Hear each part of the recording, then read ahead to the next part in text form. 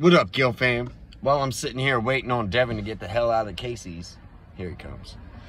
Don't forget to go to dubbyenergy.com and you can get 10% discount on anything in that store just by putting in my promo code, which is GillFam35. And don't forget to go to printify.com and check out the GillFam retail. I'm actually thinking about changing that name here soon so is that it's not confused with that other fucker. But uh, make sure, huh? At it again. Yeah, I'm at it again. I'm recording a promo video.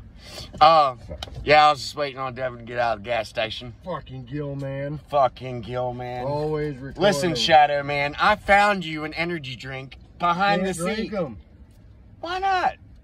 My heart. So, like your dying. woman can calm that down when you get home. What? You want me to die? Well, I mean, as long as we go together, it'll be all right.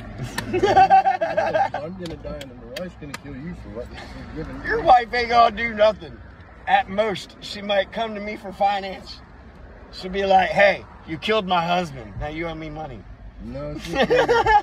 She'll kill you too. Oh, come on. Your wife loves me. She loves the Gill fam. My wife loves me. You know what I meant by that. I didn't mean the funny business. I can guarantee you she will deal if I'm dead, but she's gonna kill whoever caused me to die.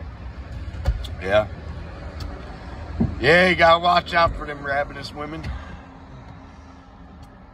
Start foaming at the mouth. Alright, this is going. All right, let's get.